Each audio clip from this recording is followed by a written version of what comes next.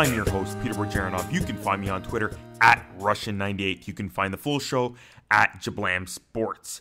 If you have any questions or comments, please tweet us. Use the hashtag Jablam Sports. That's J A B L A M Sports. Please follow us and subscribe to us on your podcasting app, whether it be Spotify, Apple Podcasts, or any of the podcatchers out there. And please share our show with three hockey fans you know. Thank you. Remember, check out our website. Go to jablamsports.com. See all our podcasts.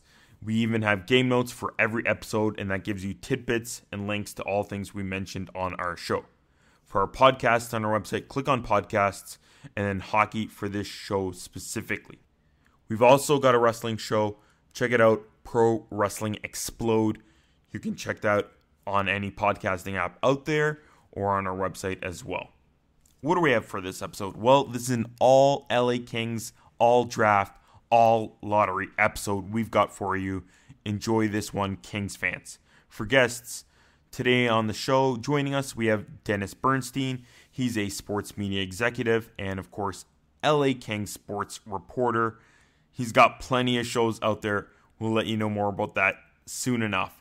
Jesse Cohen, the official podcast host of the LA Kings, All the Kings Men podcast. You can check that out. That's right on the LA Kings website.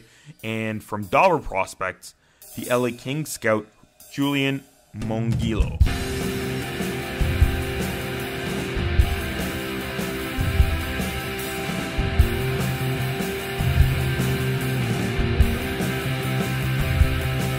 Time for some trending now, and of course, joining me on trending now is my pal Logan. How you doing, Logan? Good. How are you? I'm doing pretty good. I'm really busy. This episode's gonna be jam packed. um, it's Canada Day. Are you enjoying your Canada Day as we record this? Uh, I mean, yeah, I always enjoy my Canada Day. I have some cold beer in the fridge. I'm going to crack open later. Uh, but I was actually just cleaning the apartment, so not much of a celebration. We have to do our cleaning and our chores before we enjoy this really beautiful weather we've been having. It's over 30 nice degree temps. I hope everybody out there is wearing a mask though, if they're getting into busy areas to enjoy the fireworks or the festivities or being with family and friends. I know we've beat this to a dead horse with all the different trending topics. And in this episode, of course, we'll go all in on the lottery and the LA Kings. So, what has been trending on Twitter is from uh, at Peter Burns ESPN. He tweeted, What's your favorite random sports stat that blows your mind every time you see it? I was thinking about twisting that on the head and saying, What stats or records do we know in the NHL that we feel might not be broken. Um, out there, and I'll quickly go through a few of them, is of course Gretzky's like he's on top of almost all of these. of course, uh, his 2,853 career points. Bill Mosienko's three goals in 21 seconds. The Habs, of course, are above and beyond everybody, but hopefully that'll be ca- caught up in the future. But they've got 24 mm-hmm. cups. Gretzky, of course, had the 215 points in a season. The list goes on. Sittler, of course, 10 points in a game. Schultz is 400. Sittler's come. Yeah. So people have come close to tying slash breaking Sittler's recently. Gagne did. It was close a couple years ago. I thought someone else was as close as him last year or something like that, but I yeah. who. Yeah, it was like seven or eight points, right? So yeah. Schultz is 472 penalty minutes in a season. Coffey 48 goals by defensemen. That's going to be pretty tough. good. That's tough to beat. And of course, Tiger Williams with almost 4,000 penalty minutes career wise. That's crazy. Uh, wh- which one were you th- thinking about that's going to be tough to beat, Logan? Uh, the Gretzky's 50 goals in 39 games. That, like, just in itself is going to be, yeah, to get 50 in half a season, 41 games is going to be hard, let alone 39 that's just something I don't see ever happening again. Unless they do something drastic with net sizes and goaltender equipment and everything. Yeah, that's yeah. Be... They they got to double the cage and half the goalie equipment. Like That would be ridiculous. Gretzky was fantastic, holding so many different records in the NHL. And I'm glad yeah. to see Gretzky kind of come out whenever somebody's even close to beating him. I know with Ovechkin maybe getting close to quite possibly catching him in terms of goal totals. Uh, Gretzky was kind of out out there talking about Ovi and how he hopes that Ovi can beat him. Yeah, I kind of like that too. Like Gretzky will be the first to tell you that his records are meant to be broken. He didn't set them to for to be etched in stone. They, he the comp, he loves the competition, even if he's not playing. He was he's hoping that he can go along with Ovi and the Caps on that journey too. If they if they ever get close, he wants to be there, uh, just drinking away with Ovi the entire time, probably. and that's kind of the struggle that I'm having with not watching hockey is some of the guys like Austin Matthews would have had a beautiful career year this year, and many other players. And Ovi, kind of obviously getting less games in the regular season this past season, and very possibly much less games whenever the next season will start. Yeah, it's kind of there was a, already a push of like, well, could he or couldn't he? It was it was already going to be tough before. It's going to be even tougher now. I do hope that we get to see a lot of people beat a lot of Gretzky's records, and I hope I really yeah. would love to see Ovi celebrate at the end of his career beating Gretzky's goal totals, and by the end of his career. So that would be great to see. And coming up next on this episode, we have Dennis Bernstein. He's a talent acquisition and sports media executive, and of course, his podcast at the King's Pod is a great one. And he, of course, has his show on the hot stove on Sirius XM. So enjoy this interview with him. We talk about what he's been going through with everything and how he feels and where he who he thinks the Kings will be drafting with that second overall pick.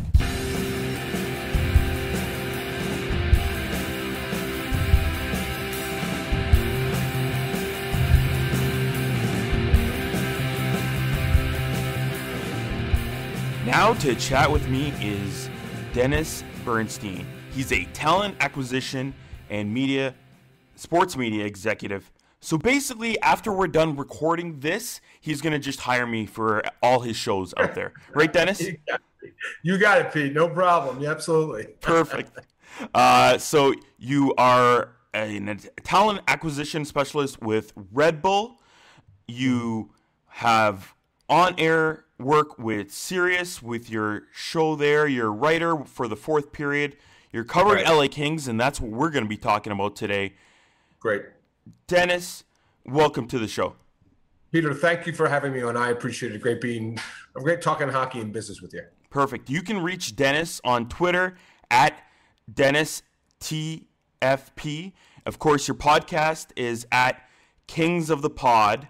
Your website, again, uh, as I've already mentioned it, thefourthperiod.com. And your show, The Hot Stove on Sirius XM. What time is your show yeah. on? Like when?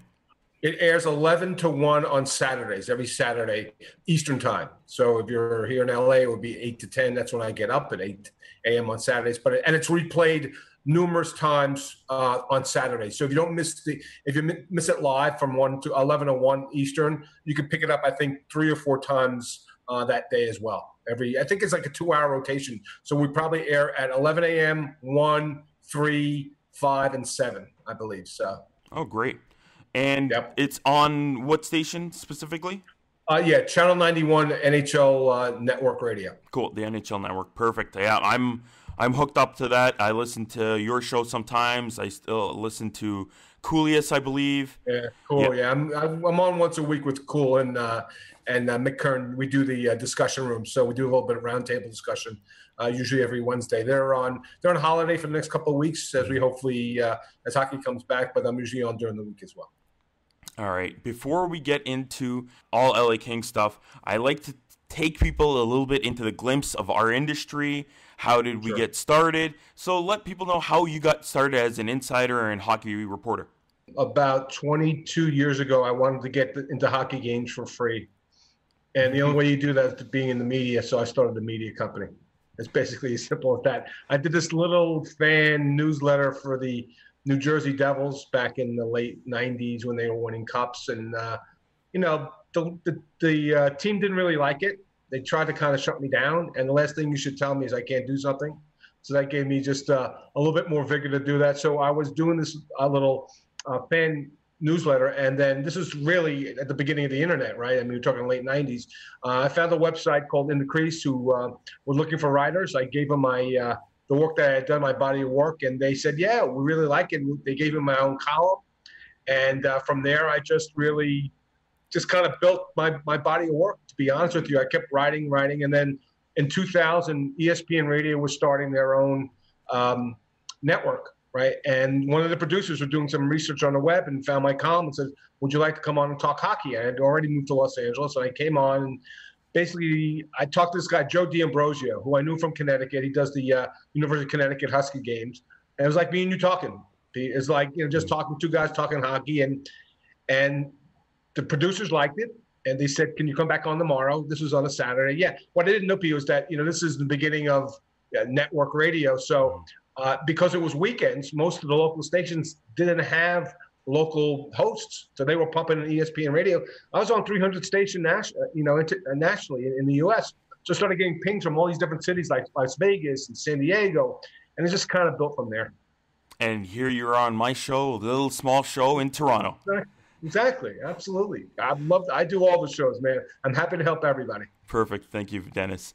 And sure. with everything going on, of course, you are in LA. How is mm. everything and the situation going on there with the pandemic? Well, I'm fine. My family's fine. I don't know anybody that has contracted COVID 19. Now, you got to understand, Pete, the numbers are, are, are, trending up and it's not a good thing, but yeah. there are 10.4 million people in Los Angeles. So the, the large majority of us don't have it. And I'm, you know, I'm a little bit more of a higher risk. I'm over 60, but I'm healthy. My immune system's healthy. I work out every day. I do about nine miles on my so. Uh, but I will go out and I'll, I'll, wear a mask out of respect to people. I mean, I'm not sick, so I can't make anybody sick. I have been tested. I don't have any antibodies, so I'm fine there. So it's look, it's it's a difficult time for everybody, and hopefully everybody will wake up. And just the last couple weeks, what happened is everybody got lax in the U.S., and that's why you're seeing you know two hub cities being Edmonton and, and Toronto. So um, yeah. we're doing the best we can. We're going to adhere to all the uh, the announcements. So at some point, Pete, we got to move on. We got to live our lives again. There's some good news about vaccines today from Pfizer, but um, I'm more optimistic than most. Um, I will be careful out there, but I believe we'll get through this and there's a light at the end of the tunnel, and we'll have hockey at the end of July, and then hopefully people in the buildings by the end of the year. Uh, you mentioned before, and I was emailing back and forth with you. You've really been a little bit busy with this time. So, how? Tell us more about your racehorses. Oh yeah, I bought a. there was nothing much to do, and and I because there's no sports on TV, Pete. Yeah. I, I, was watching. I watch in the mornings. I get up either on Saturday. I either watch uh, Premier League Soccer, which my wife can't stand, mm-hmm. or TVG, which is the horse racing network. So, you know, we were just talking, saying, you know, it doesn't cost a lot to buy a horse, mm-hmm. and you know, maybe a claimer thirty five hundred, and then of course she does her research and she comes back to me. She goes, "It costs sixty five thousand dollars to buy a horse." I'm like, "No, it doesn't." So there's this syndicate called MyRace.com that that sells shares of horses. So basically, I said, okay, let me. So I bought into uh, a group of four fillies. Also bought this week two more, uh, a Colt and actually Authentico, I believe, ran in the Belmont Stakes. You might run the Kentucky Derby. It's a very small share, but you know, I'm backing all my bets, Pete. If we don't play hockey, I need something to do during the summer. So if one of my horses run at Del Mar, I'll be going down there and hanging out. So, uh, so that's it. It's a nice little distraction because we've had no sport, Pete. It's been yeah. for guys like you and me. It's been really, really tough. You, you can't watch the news because it's so depressing. Um, I do watch the stock market, and I know a lot of sports gamblers are day traders now, mm-hmm. but I'm not into that. So it just uh, hopefully will buy the time and just a little bit more entertainment, and um, so that's why I decided to go that route. Yeah, I, I me myself previously working at like Woodbine Racetrack over here at the beginning yeah, of my sure. career. I I did the Pepsi North American Cup and of course the big Queen's Plate, and that was a blast always every year. We'd get yeah. a lot of different uh, networks coming in to do that. Uh, but yes, the, they would run those horses through thick and thin, no matter yep. what. So they're shut down too right now. So that's how yeah. maybe tough we're well, no, go, going. open for. now. Yeah, Woodbine's open, but no, I don't think for people. But yeah, there's the tracks around the U.S. are open, running. Mm-hmm. Santa Anita's open. Uh, Los Alamitos is open. So you know, if they let people in the building and down when they race in Del Mar in San Diego, Yeah. you know, I'd go down and check it out. Although hopefully I'll be covering hockey by the time we get to August. I hope we do. All right, Yeah. let's get to some hockey. Did you watch the draft lottery live? Of course. Yeah. And the best part of it was the look on Bill Daly's face when he turned over that placeholder card. That was priceless. but yeah, but Pete, look, I know people will criticize this, Yeah. but look, here's the deal. Like it was, there was drama. Number one. Number two, there's going to be drama again when the eight teams lose in the first round Mhm. and they have another draft lottery. That's going to be great. So I, people look, Pete, there's a lot of negative people right out there that, that keep saying cancel the season and that was a disaster and stuff like that. It wasn't a disaster. Mhm. No, look, you, you have to understand, Pete. You have to wait until you figure out who actually gets the pick. Because I'll submit to you that if Montreal, who's the 24th best team in the, in the league this year, gets a, a French Canadian star to play at the Bell Center next season, like that's a good thing for the league, right? If it's Pittsburgh, I get it. If it's Edmonton because they have Leon and Connor, I get it.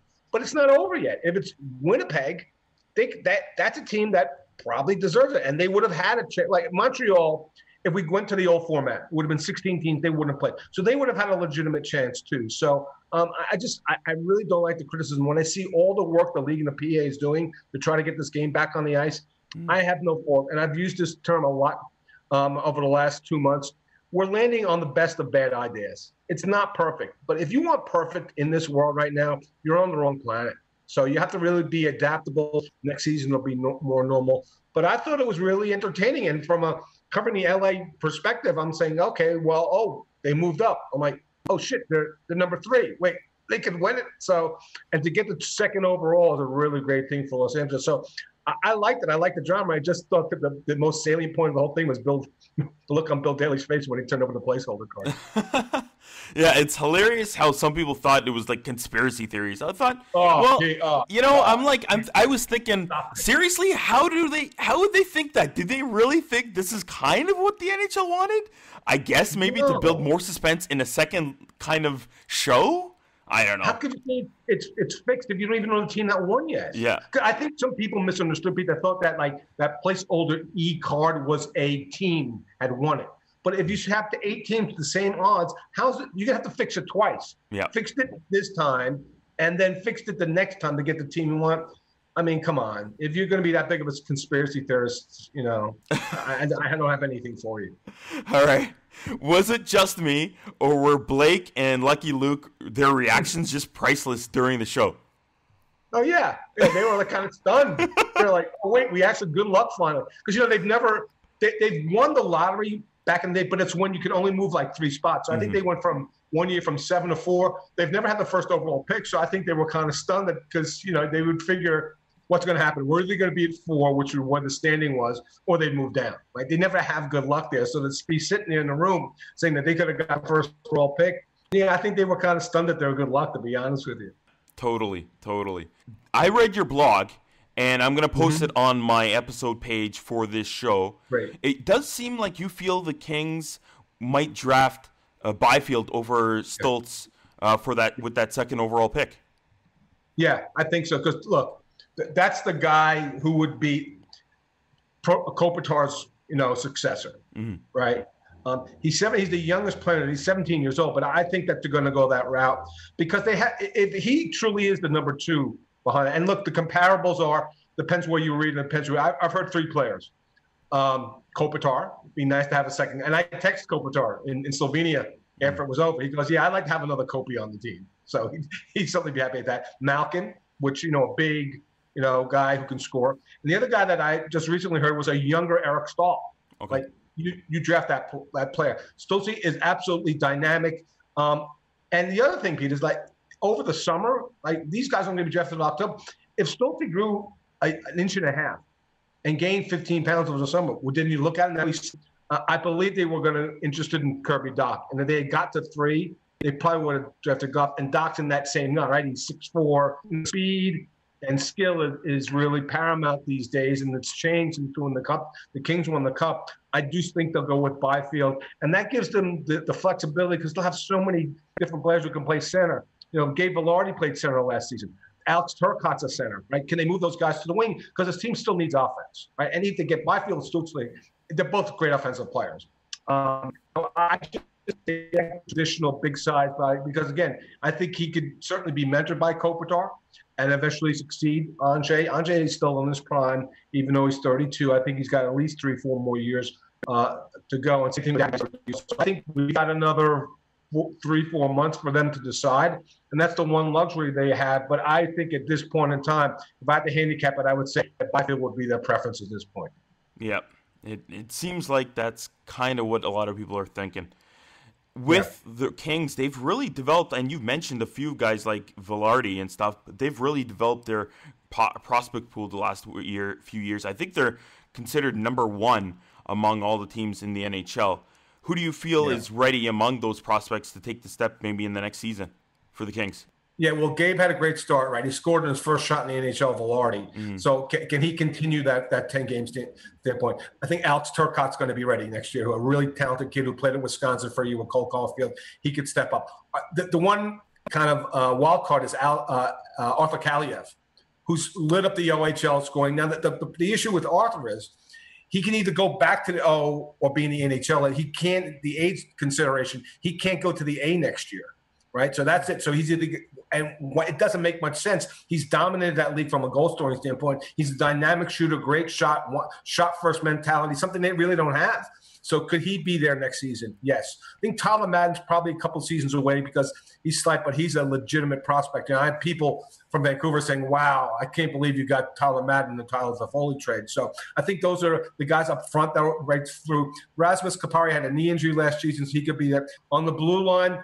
You've got Mikey Anderson, who came up the Atlanta season, a really mature kid with a great head on his shoulders. He played well. Uh, uh, Toby Bjornfot uh, had a little bit of a trial, maybe eight games going in the beginning of the season, went back to the AHL. Clague is a guy who they've been looking for to add some offense. So, so they've got the great thing about the Kings is that they they they have depth at all the different levels. They have depth on the forward line, they have depth on the blue line, and they have depth at goal. Uh, the Parik kid that they uh, drafted from the Czech Republic um, is th- in the third round is a really good player. So they have a level. What they didn't have, and why this draft was so important, they didn't have that ground true, that one truly elite player. Like yeah. I, I, Gabe Vilardi might be elite, Turcotte might be elite, but if it's either Byfield or Stützle, that's the guy who's going to be elite.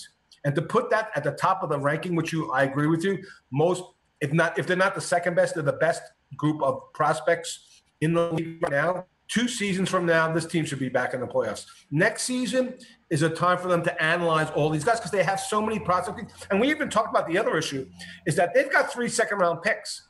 They're going to have a point in time where they're going to have too many prospects and they can't evaluate them all. So next season, people ask them in the off season, will they maybe go for uh, take this entire grouping of prospects and figure out where they fit on the on the depth chart how do they integrate them in the system? You know, where do they fit? You know, and then at that point, you'll see them probably use some of the extra pros because they could also have three. They may have three picks in 2021 as well in the second round. They may use those picks and prospects to trade for an established player, maybe a 26 or 27 year old guy that can help them offensively, and they don't have any cap issues as well even with the way the CB is going to come in with a flat cap, they're going to have a lot of space. They're going to lose about ten thousand or ten million dollars in cap space um, the following season because Kovalchuk and um, uh, hits are going to come off the books. They're going to be in really good shape for the 21-22 season, Peter. That that's probably going to be good because with that flat cap, that will be much needed, and a lot of teams might be really in the in the struggle or the bubble for them. It's going to be tough. And to have, and say, look, they have two million, two $10 million players in Kopitar and Doughty, but all these kids coming in are going to be only entry level deals. It's mm-hmm. going to give them so much cushion. They're going to lose those two cap hits for the buyouts. They're going to be in really good shape to make some moves, and they may be able to vulture in on a team that has cap issues and get a really good player. But it won't happen next season. But the following season, I would suspect that they would be in the in the in a battle. Just going into maybe next season, how do you think this team will look? How many of these kids do you think are going to be brought up to play? You don't want to rush any of these kids, mm-hmm. right? I, think if they draft Byfield, he may not even, he may go back to junior. He may not even get a sniff. Maybe you give him the nine game sniff or whatever.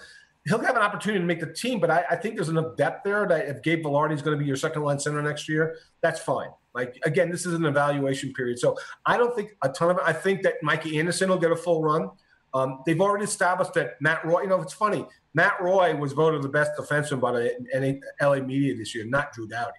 So, mm-hmm. so Sean Walker made a breakthrough. So they don't have to have six players make six rookies make the team. You wouldn't want that anyway. I think players will get tastes, but then what they'll do is they'll develop them down in uh, in Ontario. And the key there is they let Mike Stothers go, so they have to find a coach who's a developmental coach who can work with youngsters and things of that nature. So maybe maybe one or two breakthrough to the lineup next year. That's not the most important thing. The most important thing is to evaluate where Kaliyev would fit. Where does Turcotte fit? Is he a center? Is he going to play the wing? Right? Is Kupari going to play the center wing? They they have the flexibility. A guy like Akil Thomas, who did great things for the uh, for the uh, uh, for the junior team, um, where does he fit in the mix as well? So they're going to have to make some decisions here. Um, so it's a, an embarrassment of riches at this point in time. When you look ahead, potentially you could have guys fight, guys who want a team this this year are be fighting for jobs is what you want. With respect to results. I think you're looking at had they completed the season, they probably would have had about 72, 74 points they'll probably make a, a 10 point jump. They, will probably play around 500 hockey because, again, this is going to be a very young team with some still some gaps. They have the right coach in in, um, in Todd McLellan, so I think that's a huge plus. Um, so I think this is a situation where if they can be playing games of importance in March, I think they'll be happy. Doesn't mean they're going to be in a wild card position, but if they're mm-hmm. playing, if they're not out of the mix like they were at the beginning, uh, at midway through this season, I think that's a win for this team. And then, but then I expect that they should be contending in the following season. So this is basically the coming season for the Kings is a season of discovery.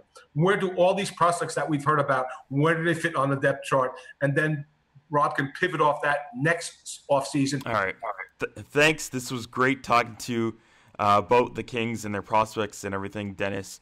Uh, before we leave you, uh, you did mention to me uh, that you drank out of the cup, and before we get to how bad that tasted, when did you uh, get to taste the cup? Was it during one of the runs, 2012, yeah. 2014? It was. It was. It was the end 2014.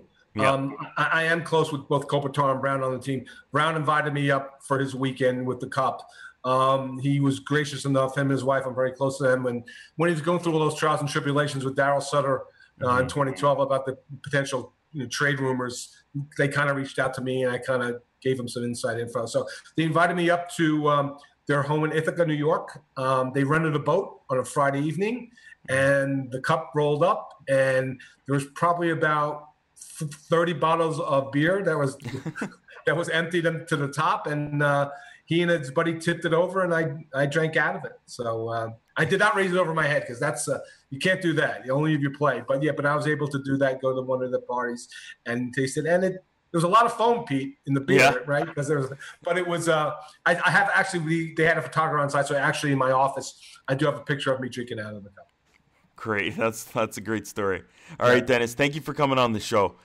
Oh. You can reach Dennis on Twitter at Dennis TFP. Again, your podcast at Kings of the Pod, website, thefourthperiod.com, and of course, your show on SiriusXM, The Hot Stove. Dennis, thank you for coming on the show. Peter, it's great talking to you. Thanks for the time. I appreciate it.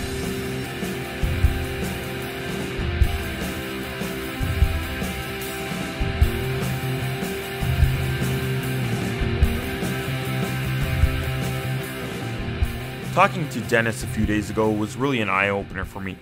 You can see he really does work hard and how professional he truly is. I'm glad he can make time for our show, and I can hope we can have him back in the future. Next up, we have Jesse Cohen. He's been on the show in the past with his podcast, All the Kings Men, now in its sixth season for the LA Kings.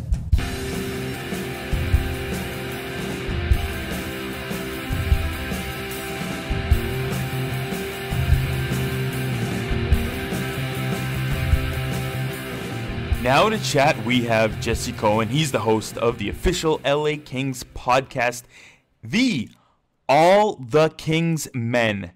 You can find it wherever you find podcasts, Apple, Spotify, and of course, right on the LA Kings website. You click on navigation, click on fans, I believe, and you'll see all the different podcasts you guys have. You guys have a lot of podcasts with LA there, eh? Yeah, quickest way to get there is just uh, lakings.com slash podcast you don't have to worry about navigating through all that. We've got our own landing page. But yeah, we've got the Fox and Faust podcast, which has wrapped up its first season. That's with our broadcasters, Yep. Alex Faust and Jim Fox. We've got the Rainy Day podcast with uh, Zach Dooley and Cameron Close. They cover our minor league affiliate out in Ontario, Ontario, California, not Mhm. Ontario, Canada. Yeah. And uh, as you said, all the Kingsmen, which uh, covers the Kings. And you can reach him on Twitter at Kings Men Podcast. Jesse, welcome back to the show. Thanks. And before we get some hockey talk, really, you hate White Claw that much? I know it's a big fad. uh, I'm I'm not for fads. I've never been that type of guy. I remember even like back in the day when uh, there was like what's called the ER ER show. I remember I wa- I watched the first season, then it became popular. I'm like I'm not gonna watch anymore. I'm not watching Game of Thrones. I still haven't seen one episode today, and all of those other big shows. I'm not the fad type dude. Uh, when I'm doing my drinking per se. I'll get my wintergreen uh, dip and some, you know, steam whistle from downtown Toronto, and I'll have maybe a drinking night. But what? How are you with the White Claw? And you you just don't like well, it at all. Well, first of all, I, f- I feel I feel like ER was on for like 20 years. I don't Yeah, know if that counts it as was. bad. And seriously, I only saw the first season. And then it became popular, I guess, after the first season. I'm like, Yeah. yeah, it's not not for me anymore.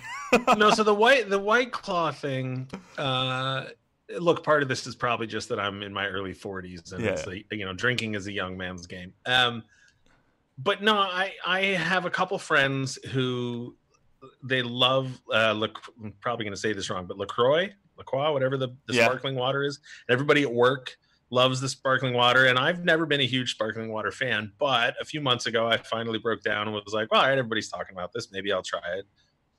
It's not great. It's it's it's really mild hint of flavor with sparkling water, and I just don't care. I think it's more about I don't I don't even know. Whatever. It's it's a, it's about the ability to have the conversation about the brand. Like it's Yeah. almost like you know, it's it's this sort of quasi irony that gets popular where it's like, oh, LaCroix, it's available for whatever, 49 cents a can. So it's a joke that we like it, but now we do like it.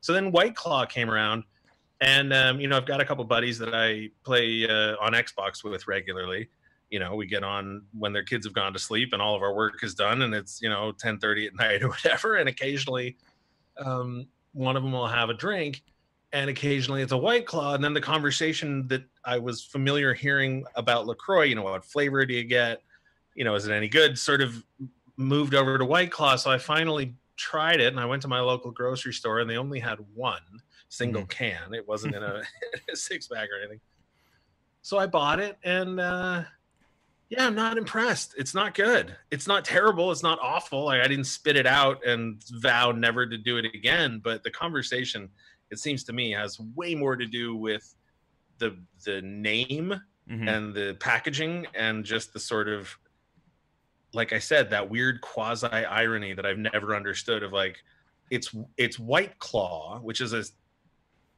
a bizarre name on top of it, like just by itself. Yeah. And then so you've got a bunch of guys in my case, you know, who are upper middle class at worst, Yeah. right? Married with kids and mortgages and nice cars, and they're drinking White Claw.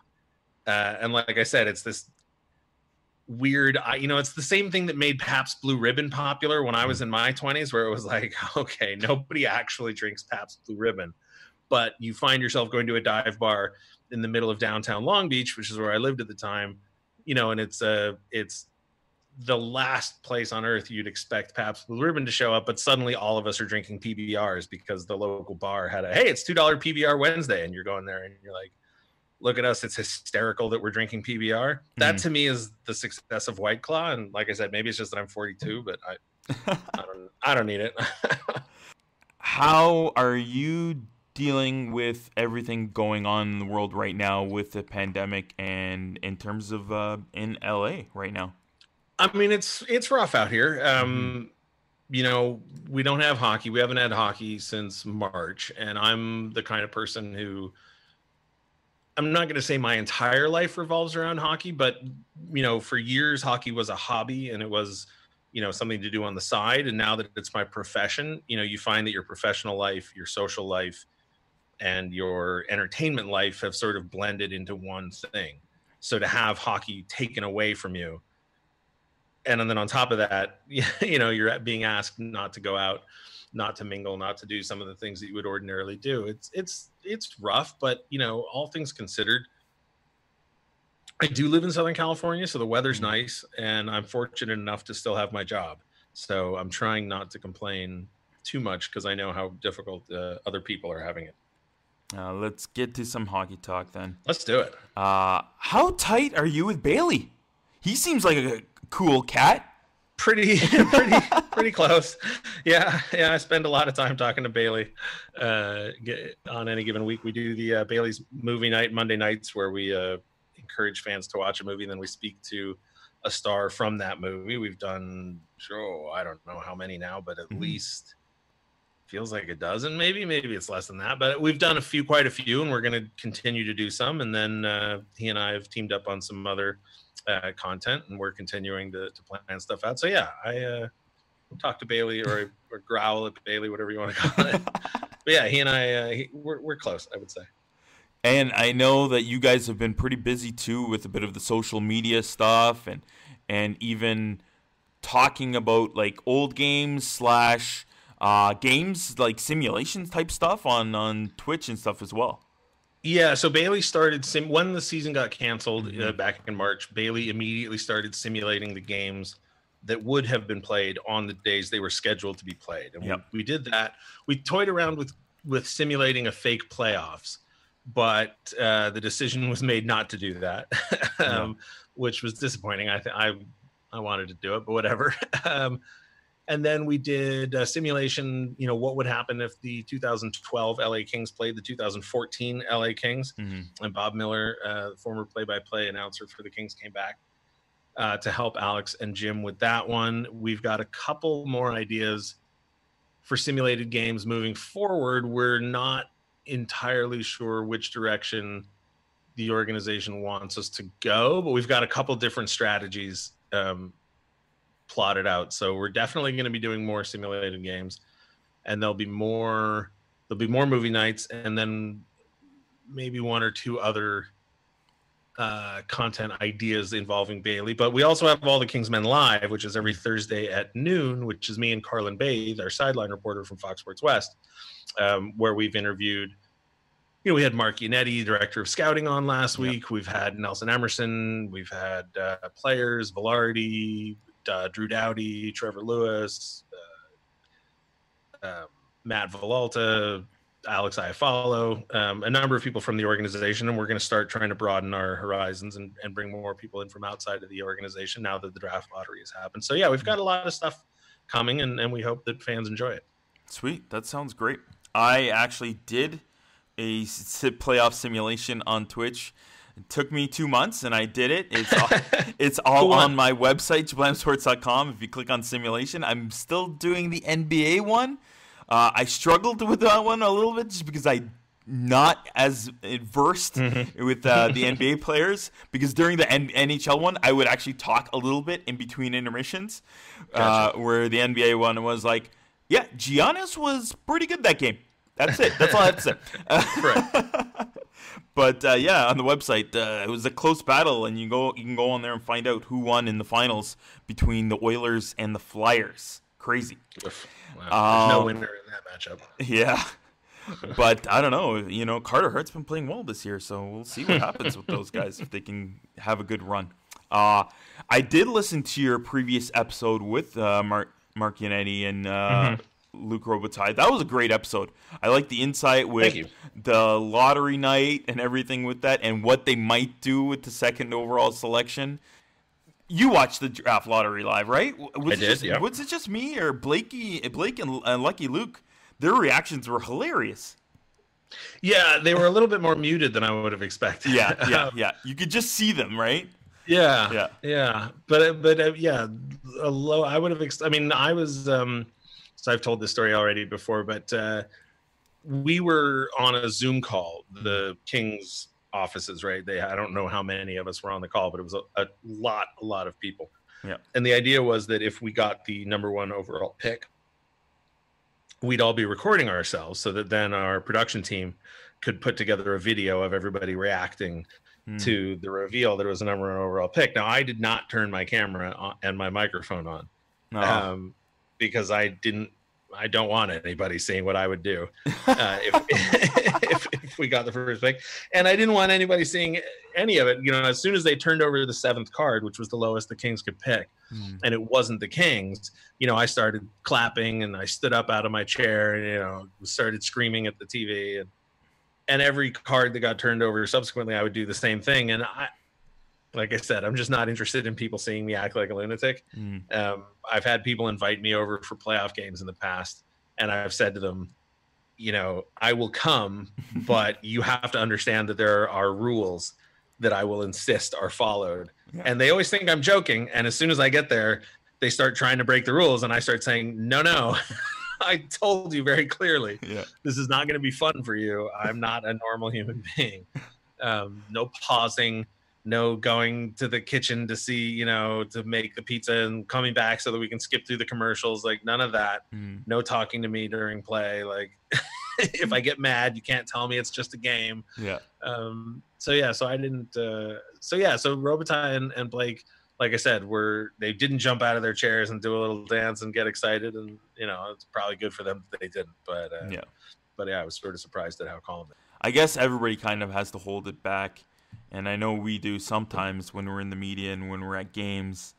You know, you're just like, you gotta, you like it, but you can't show too much emotion. Then when you get home, you can have your hissy fit or your party. Yeah, you know it's funny. There's you know there's the rule no cheering in the press box. Yeah. um, and I've said this a number of times too. I've I've figured out how to stop the reaction of cheering for a goal, Mm-hmm. but I still haven't figured out how not to clap when there's a good penalty kill. Ah, So I'll be up in the press box and a goal will happen, and I'll do a little like uh, you know nobody can see me but you, but Yeah. I'm doing a quiet fist bump. Yeah. But if they clear the zone on a penalty kill and it's a big penalty kill, I'm still, you know, Mhm. still clap, I'm still clapping. I don't know how to shut that part of my brain off. So all right. With that second overall pick, who do you feel with everything that you've done so far and research and talking to some guys, who do you feel they might be leaning towards in terms of that using that pick on? I can honestly say I have no idea. Hmm. I have heard compelling arguments for both Quinton Byfield and Tim uh, Stützle. I honestly don't know. hmm Like the the conclusion that I've come to is it really shouldn't matter because the rest of the guys have to be great anyway. You know, Vilardi, Turcotte, Madden, Kupari, Hults, Anderson, Bjornfot, Fagemo, Kaliyev, all those guys have to be great. And if all of those guys are 80% of their ceiling, then it won't matter if you wind up taking the quote unquote wrong guy between Byfield and Stützle or Raymond or whoever else you want to include in the rankings. Yeah. Because you'll have such a solid team surrounding them. And then the flip side of that is also true. If all of those guys are 30% of what you want them to be, right? If they're all misses, if Bjornfot can't play, if Turcotte is a third line center, if Madden is a fourth line center, if Kaliyev, you know, if all of the terrible stories about his work ethic not being there are true, you know what I mean? If all these guys are bums, Yeah. then it doesn't matter how good Stützle or Byfield are. You know, you see Eichel out in Buffalo or even Connor McDavid in Edmonton until they got some other players around him. Like one guy's not enough to do it. Yeah. And you need you need it. I mean, it's cliche and corny to say, but you need a team to be successful. And you know, I was just saying this to um, to one of my friends in the media earlier this morning, asking about Byfield or, or Stützle, and I said, you know, if you go back to the 2012 and 2014 Cup wins, it's not as if Anze Kopitar, Drew Doughty, Jonathan Quick, Jeff Carter, Dustin Brown, um, you know, all the guys that were there for two cups. It's not as if they're all the same type of player or the same personality, the same, you know, whether it's aggressive or passive or defensive or offensive or skilled versus, you know, hustle, grit, whatever you want to call it. Like, it's still a recipe. It's still a combination of elements. And so, you know, maybe Stützle has parts of his game that are better than Byfield, and maybe Byfield has better parts of his game than Stützle. But at the end of the day, you still have to find a way to fit them in with the rest of what you have. hmm And we don't even know yet what the Kings are are cooking with. when it comes to all of these prospects. So I don't think there's a wrong choice ultimately. But I don't know is the real answer to your question. I have no, I have no idea what they're going to do. All right. In terms of the rest of the draft, what type of players or needs do you think they're going to be looking for?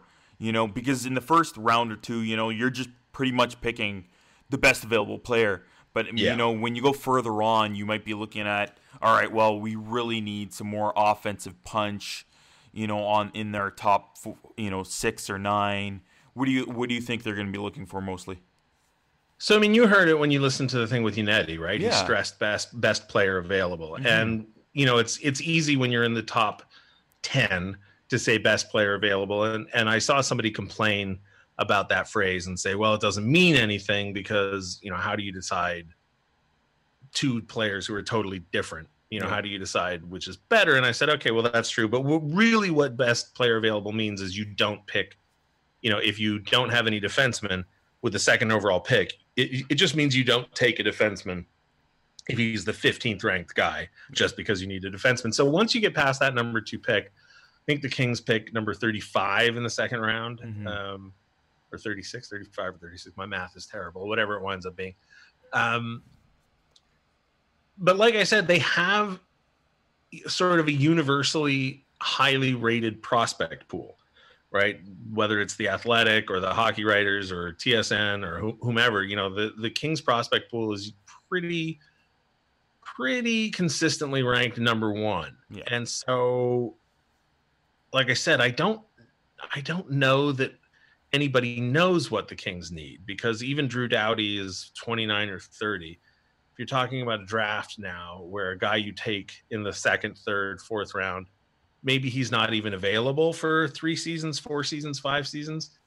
Um, you know, Drew Doughty will still be active, but you also have, as I mentioned before, Tobias Bjornfot, Mikey Anderson, Cole Hults, guys like Walker and Roy, who are now 25. Five years from now, maybe they're 29 or 30. Maybe they've developed and gotten a little bit better. Maybe they, even if they're just as stable as they are today, they're still NHL players. So I think they probably stick to the formula that it looks like they've been following for the past two seasons, which is to get guys with big character upside. You know, like when Dean Lombardi was building the cup winning team 2012, one of the jokes that we would have sort of behind the scenes, we look at each other and we're like, how many of these guys have worn letters for their junior teams or their or the teams they're coming from, right? Like whether it was Mike Richards um, or or guys like that and it's beginning to look a lot like that in the prospect pool, right? Like a lot of the guys they're picking up uh, have either worn letters or are predicted to wear letters or have been named to international teams or all-star teams. Mm-hmm. So my suspicion is that they'll keep going out and getting guys like that, um, or or even in some of the deeper rounds, they went ahead and got somebody.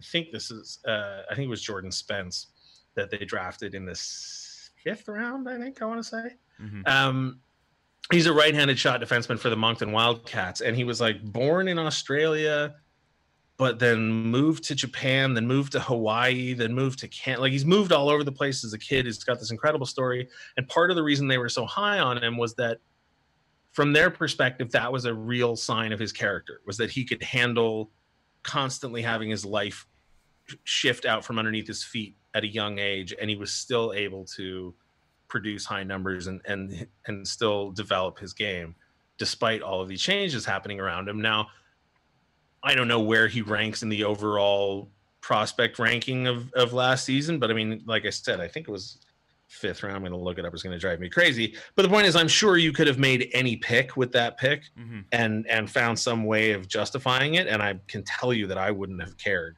one way or the other if it was Jordan Spence or whoever was picked immediately following him. Sorry, fourth round, 95th overall. You know, what do I know about 95th versus 96th ranked guys? Yeah. You know, in the juniors, right? Detroit took Ethan Phillips at 97. New Jersey took Tyce Thompson at 96. Honestly, I'd never heard of either one of those guys. The only reason I've heard of Jordan Spence is because the Kings took him. But the point is, their justification was this sort of character, this intangible, if you will. So my my hunch is that they'll keep going for guys like that. In terms of the uh, many of the prospects, and of course you've already mentioned, they are the Kings are considered number one in terms of their prospect pool in the league. Mhm. Which ones are maybe the Kings the most high on that maybe aren't way up there, like of Vilardi or Turcotte? Uh, and then, of course, which ones do you think will come in maybe to the roster whenever next season starts? Uh, I mean, Alex Turcotte is the one that I think they signed him or they were scheduled to sign him. His collegiate year was done. And so he signed, I want to say it was a PTO with the Ontario Reign, or maybe it was even his entry level contract. I don't remember. But he was set to practice with the Reign on March 12th. And that was the day that the season got shut down. Mhm. So like Alex Turcotte was right on the verge of maybe playing a handful of games for the Kings at the end of the season, or certainly playing a handful of games for the Ontario Reign. So, you know, he's right up at the top of the list now where you go like, oh, well, maybe maybe he'll crack it. Maybe he'll get a look. But you know, Anderson played, I want to say six games. Vilardi played 10 games. Uh, Clague played in, I think, four. So, I mean, all of those guys are bubble considerations, I would say, for actually making the team moving forward. Like everyone talks about Vilardi as if he's just on the roster now. But I sort of think like, well, I don't know. He played 10 games for the Kings at the end of a season where they were missing the playoffs by quite a lot um, for a second season in a row. But yeah, I think he had seven points in those 10 games. If I maybe I could be wrong about that, but it was whatever it was, it was the most points a player had gotten in the first 10 games since Kopitar had joined the Kings or something Mm. like that. So I mean everybody assumes he'll make it. But sleeper guys, um I don't know, it's hard to pick. I mean, I guess Cole Hults would be the one. He's uh played uh, for Penn State. He's the uh Big Ten Defensive Player of the Year and the Big Ten Player of the Year. And I don't think before the end of this season anybody had given him much attention or consideration. But I wouldn't be completely stunned if he made the roster this coming season. And like I said, that's a name. I mean, Kings fans are familiar with him, but but that's a name that I would expect that people outside of LA maybe haven't heard of, and mm. and he hasn't got as much press as the rest of them, who I think is close to to cracking the lineup. Before we leave, and as some Leaf fans like myself want to know a little bit more of, how are our buddies that we traded away the prospects in the Jake Muzzin deal doing? How are Grundstrom and Durzi projecting? I, you know what? When I was looking at his numbers, Durzi's like even playing even better offensively, even with the Reign. So I think he is still progressing really well. Yeah, Durzi's um, through no fault of his own sort of finds himself in a in a glut of defensive Mhm. defensemen in Ontario. I think we had nine at one point this season. Like there's just a, there's just too many defensemen. um, now the Kings traded Alec Martinez and uh, Derek Forbort, so that opens up space in LA. And Kurtis MacDermid signed a two-year extension, so he'll probably be playing in LA. So there's more room now in Ontario, and I think there are some guys, you know, like Paul LaDue, who maybe won't be brought back. I could be wrong, maybe he will, but is unrestricted free agent at the end of the year, and I think he's 27, maybe 28. So chances are he won't be coming back. So there's more ice time for Durzi. The fact that he's a right-hand shot um, and he's young and and does have focus on him because of that trade, I think he'll get a ton of playing time. I think people are pretty happy with his development.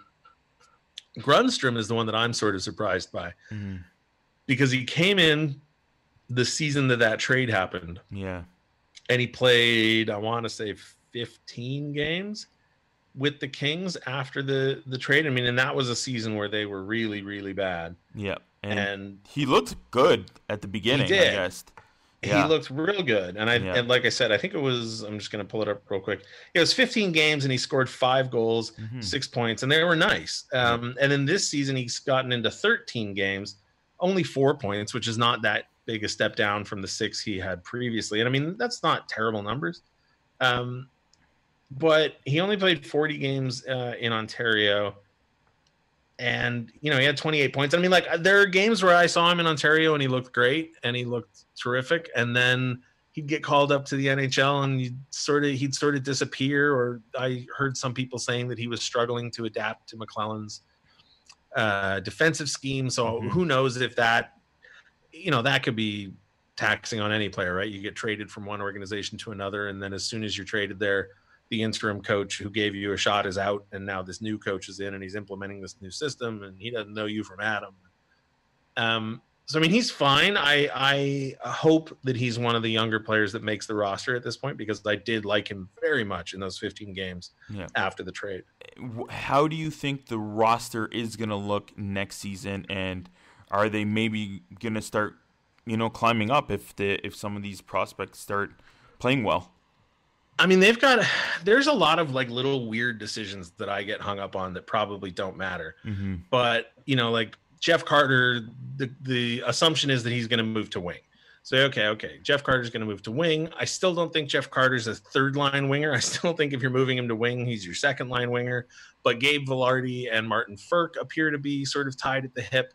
And Frk has signed a contract extension and Vilardi impressed. So you go, all right, well, do you put a line of Vilardi, Frk, and Carter? They're all right handed shots who plays the left wing on the out? Like, I don't know who plays center. Do you put Vilardi at wing? Is Carter a center now? Dumb little things like that. And then you have, you know, Adrian Kempe, who finally came into his own, it seems, on left wing. And he and Wagner and Lizotte were a terrifically effective four checking line. They didn't score a ton, but just as far as like dominating possession, they were, I don't know, one of the top 10 lines in the league, just as far as denying other teams opportunities. Um, they didn't score a ton, and I know that they want Adrian Kempe to start putting up some bigger offensive numbers. And I know that Austin Wagner sometimes plays on the fourth line.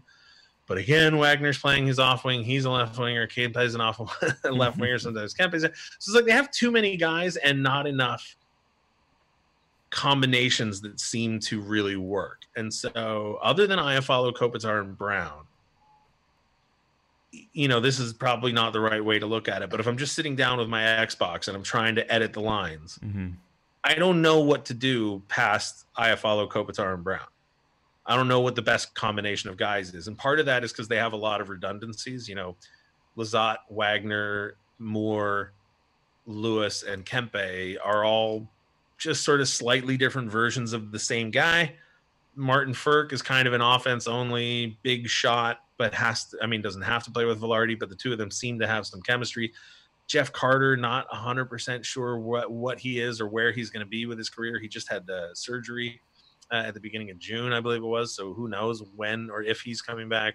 Mm-hmm. Um, so I, this season's going to be really weird. Like I've heard people say that they could finish, you know, above 80 points and maybe contend for a playoff spot. That wouldn't stun me, but I also wouldn't be stunned if they finish with like low 70s just because they spend the entire year trying to figure out um, what they have. Because even the Wagner, Lizotte, and Kempe line, which I love and is fun to watch, even if they don't score a ton, you have to ask yourself, you know, that's fine on a team that isn't winning a lot of games. But if we want to start building building something and building an identity, is that the third or fourth line you want you know carrying into the playoffs like I, I, don't know that it is as much even though i like i said i like watching it. Um so there's more there's more questions than answers but I, as a fan to me that's always sort of more fun. Um, when, when you can sort of figure that out and learn more about the game. Yeah the kings i think they're going to be a great team but we're going to have to wait one or two more years before we really see the impact of all these great prospects that they have ready to take uh, the next step, even uh, whoever they take in that second overall pick. Yeah, and I we didn't get to it, so I'll just throw it in real yeah. briefly here. Um, the goalies are another thing where it's like Jonathan Quick is, you know, certainly in the back half of his career, and you know he's got a bigger cap hit than Petersen by far. But even Petersen, who people have pegged as the goalie of the future, Petersen I think is 25, mm-hmm. and you know, not that 25 is o- over the hill or anything, but to your point about, you know, the team being really good in two or three seasons, well, then by that point, Petersen's 28. And, you know, how many goalies who are 28 or 29 suddenly become the starting goalie on a really competitive team? Meanwhile, they have all these other goalies who are like 18, 19, 20 who by the time the team is competitive might be 23 24 which is a mm-hmm. more traditional tale of you know the goalie come along so it's it's gonna yeah he's uh he's 25 he'll be 26 in october. So like by the time the next season starts your goalie of the future is already 26 Yeah. and i'm not knocking cal i love watching cal petersen. I hope he is the goalie of the future. I hope he is great. It's just another one of those things to keep an eye on. Um i think we frequently talk about players age in terms of their nhl careers and not in terms of their professional careers. So for example you know people have listed Prokhorkin or Amadio or you know Paul LaDue or Sean Walker or Matt Roy as some of the Kings' young prospects. And it's like these dudes are all 25 and 26. Like Yeah. they're not, or I guess Amadio's not that old, but but at some point they're not prospects anymore. They just are what they are, and the likelihood of them developing into better players diminishes. So Yeah. I don't know. It's just gonna be interesting. And Petersen's got he's a huge Drake fan, right? He's got the OVO logo on the back of his mask. Uh, that sounds right. uh, I'm like I said, I'm an old man, so Yeah, that yeah. sort of thing. um, but yeah, I'm looking it up right now. I mean, I do like his mask. Um, Yeah. I just thought I'd throw that in there for uh, Toronto fans because I'm pretty yeah. sure he's uh, he's a bit of a Drake fan. So it's good to go. All right, you can uh, find Jesse on Twitter at Kings Men Podcast, and of course the podcast, All the Kings Men. You can find it right on the LA Kings website when you slash podcast, and of course wherever you find podcasts. Jesse, thank you for coming on the show again. Thanks for having me.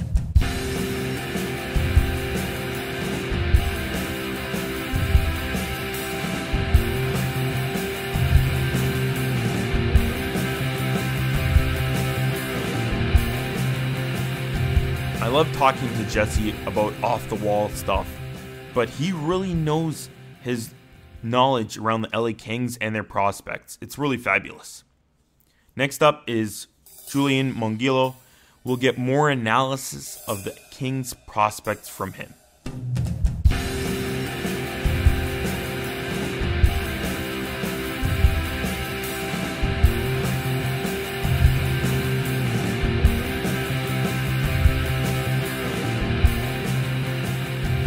Now to chat, we have Julian Mongillo. He's an LA Kings writer and scout for Dobber Prospects, and now also a Colorado Avalanche writer for The Hockey Writer. Welcome to the show, Julian. Hi, Peter. Thanks for having me. Uh, good to be on with you here. Cool. And you can also reach him on Twitter at Julian Mongillo. How do you spell your last name there, Julian? Uh, it's Mongillo, M O N G I L L O. And you can find him on Twitter and, of course, for Dobber Prospects and The Hockey Writer. Before we get into the LA Kings and their prospects, I like to let listeners understand a little bit of our industry and people and their different roles. So, what? How did you get to start becoming a scout? Uh, well, it all started. I, I've been a long time hockey follower, sports follower, big fantasy guy. So, uh, you know, staying up to date with all the newest guys, new up and comers, and all the all the new players coming up. It's it's important to get an edge on your on your competitors in the in the hockey fantasy hockey leagues, right? Um, so that's kind of where I, I I started following it a little bit heavier and and more in depth. Um, and then from there, my uncle actually uh, was a writer with Dobber, Dobber Prospects. On uh, he was a Columbus Blue Jackets writer, and he let me know they were looking for some people. Um, and I thought I'd throw my hat in the ring, and uh, sent an email to the to the team there. And I was lucky enough to get uh, one of the LA uh, writer jobs there. Um, and I've been there for about two years now. Recently, just with this all COVID stuff, I just been uh, you know a little bored, so Mhm. ended up reaching out to the hockey writers there too um, and they had a couple spots available, and I ended up picking up the Colorado Avalanche there. So uh, now I got two two different teams, um, and I'm happy to to have them both. Um, a little bit both on different ends of the spectrum of the NHL right now, obviously Mhm. with Colorado doing really well, and Kings in a little bit of a rebuilding stage. So it's a good mix for me to see uh, competitiveness and then rebuilders. Um, but yeah, loving it so far. But you're as we're recording this on Zoom, you're wearing a Leafs hat. How could you do the Leafs like that?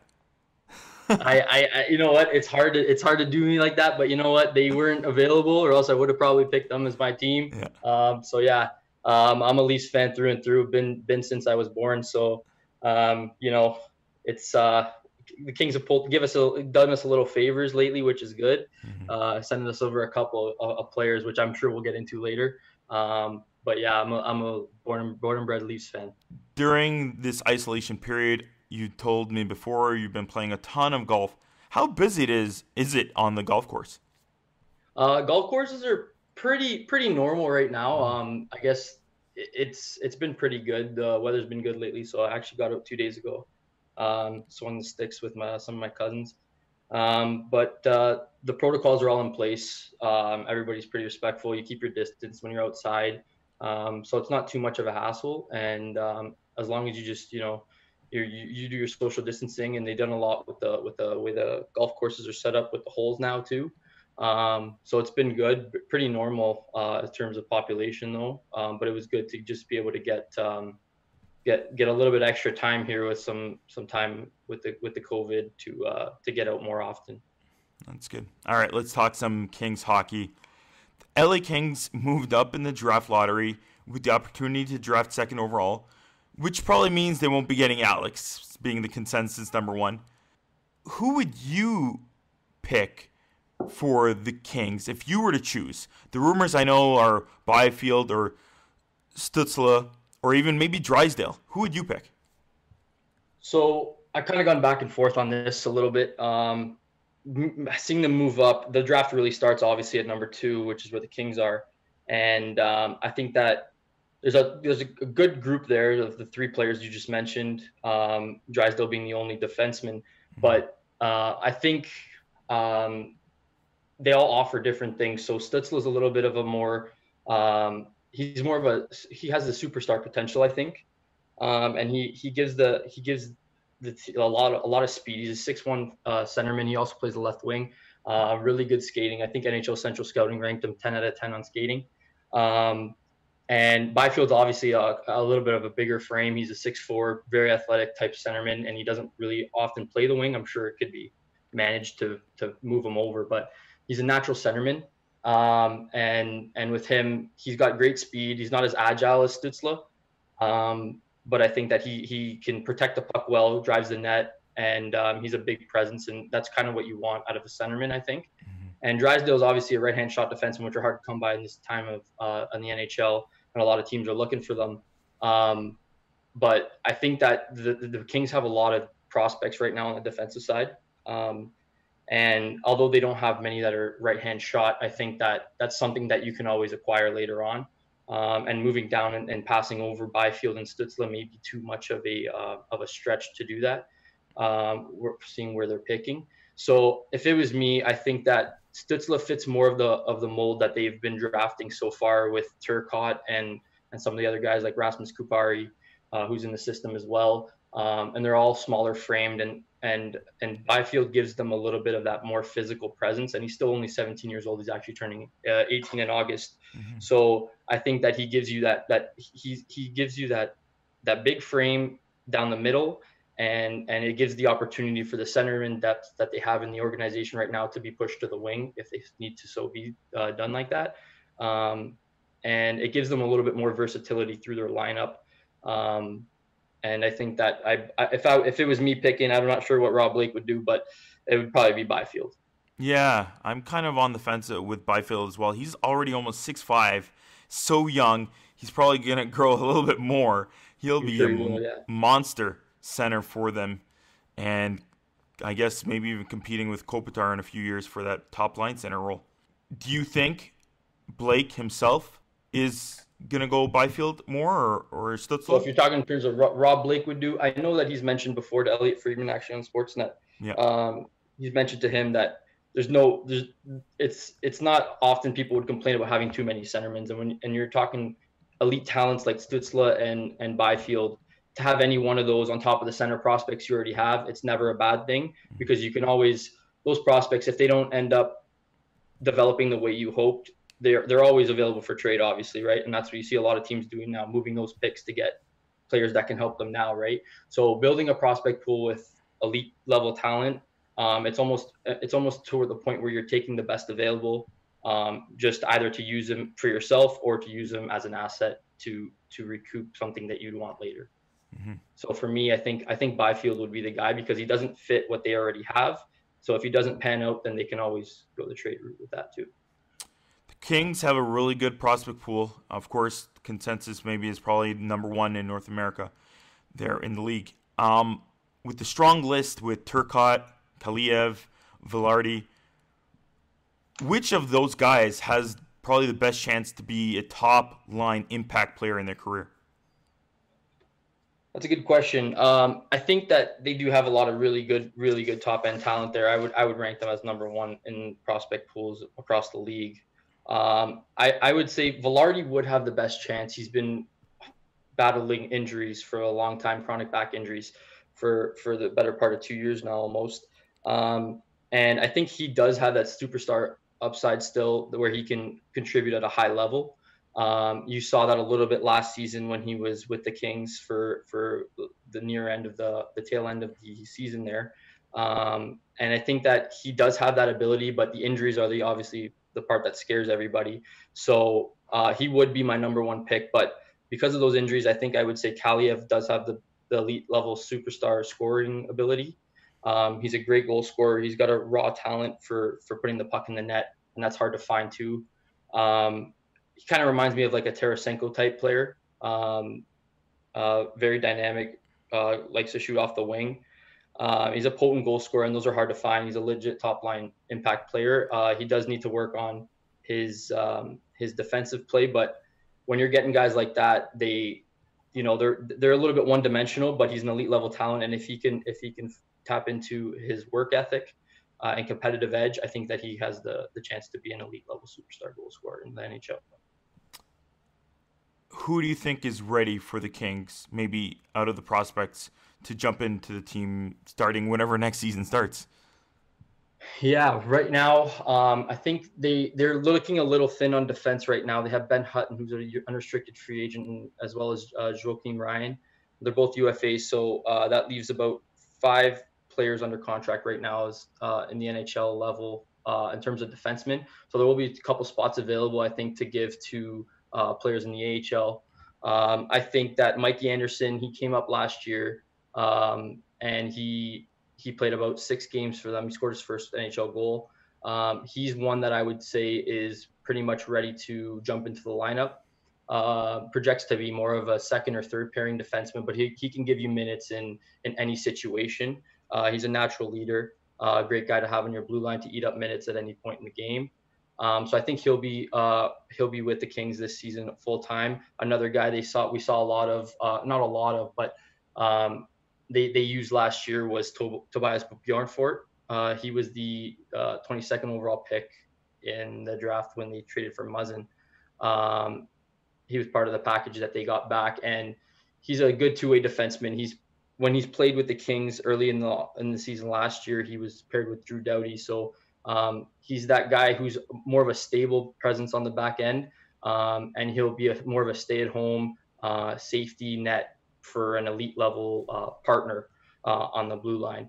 Um, so he he will have a chance definitely to crack the lineup as well. And Kale Clague's, Kale Clagg is another one who's been um, with the Reign for the better part of two years now. He had 25 points in 49 games last year with the Reign, and he was an AHL All Star with them um, he's another guy that I think will be given the opportunity to finally make the jump to um, to the NHL. And then obviously Vilardi should be there. Um, I would put him more as a second line center this year behind Anze Kopitar. Uh, Blake Lizotte featured there last year, who was another prospect in the Kings uh, pool. Um, but he might, I would, I would say, he, if if Vilardi's healthy and ready to go, he'll probably bump Lizotte down. Um, and then Samuel Fagemo, uh, he's another one who's a, a Swedish winger. Um, who did really well in the World Junior Championships. Um, and the, the Kings don't have a lot of right wing depth right now, so he might have an easy path to some playing time on the right side there. And he's a pretty good goal scorer, and um, he looks to be NHL ready as well. Yeah, this upcoming season for the Kings looks like it's going to be a pretty interesting one, and the future looks very exciting for the Kings. We're probably going to get you on the show further on in the season, maybe talk about Colorado as well. Thank you for coming on the show, Julian. All right, thanks for having me. And yeah, anytime we can uh, chat hockey, I'm here. Just uh, give me a shout, and uh, we'll get it. We'll get it done.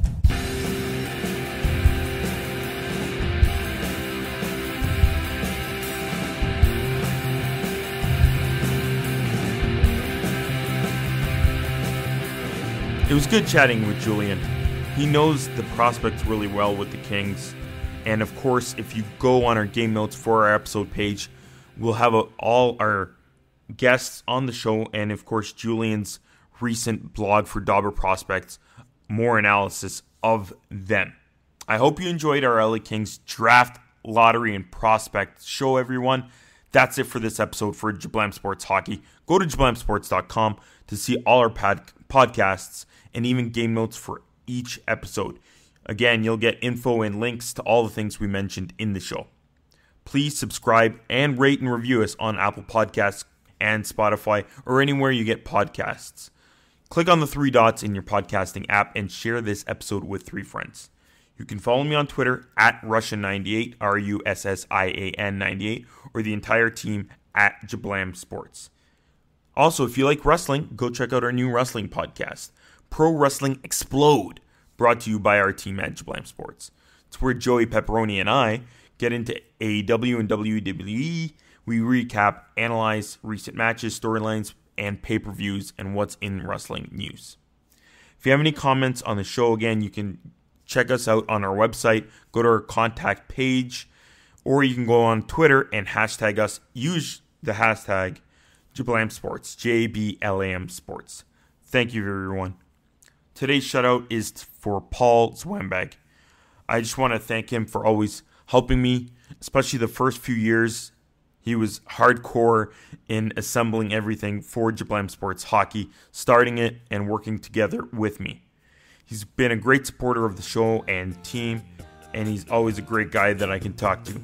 I hope you enjoy enjoy being a, a great father, Paul. To everyone out there, I'm giving you a virtual hug. Stay healthy.